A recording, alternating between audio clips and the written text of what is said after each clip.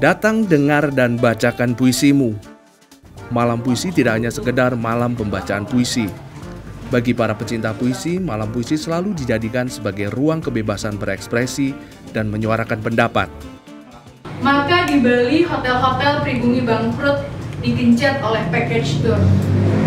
Kejayaan rakyat ternoda digencet standar dagang internasional. Tari-tarian bukan lagi satu mantra, tapi hanya sekedar tontonan, hiburan.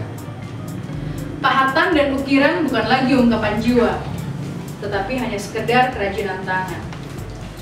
Hidup dikuasai kehendak manusia tanpa menyimak jalannya alam. Kekuasaan, kemauan manusia yang dilembagakan dengan kuat tidak mengacuhkan naluri ginjal, hati, empedu, sungai, dan hutan. Di Bali, pantai, gunung, tempat tidur, dan pura telah dicemarkan. Pejambon 23 Juni 1977. Kota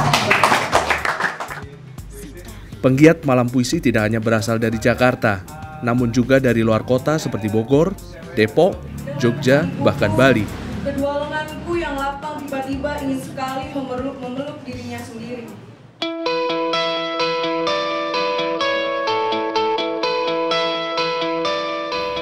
Malam Puisi Jakarta kali ini digelar di sebuah sanggar seni dan kreatif di kawasan Kemang bekerja sama dengan komunitas kopi keliling.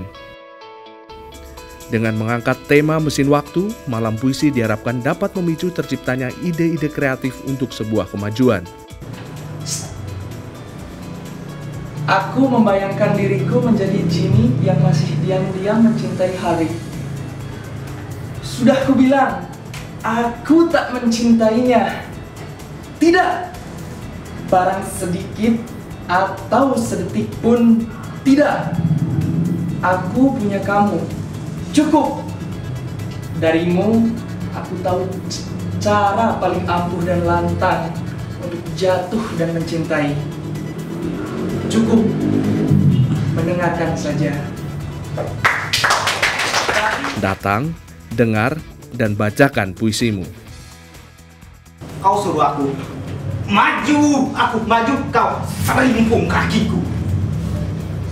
Kau ini bagaimana? Kau suruh aku bertakwa. Khotbah keagamaanmu membuatku sakit jiwa.